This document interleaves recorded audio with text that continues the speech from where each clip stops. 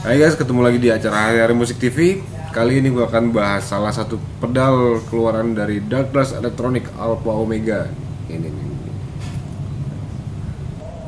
Untuk demo pedal kali ini, gue akan coba combine antara output dari DI XLR dengan clean output dari Dark Glass Electronic.